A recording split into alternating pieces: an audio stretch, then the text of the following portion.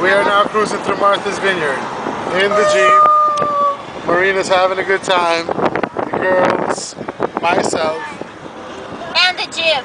and the Jeep. Yellow.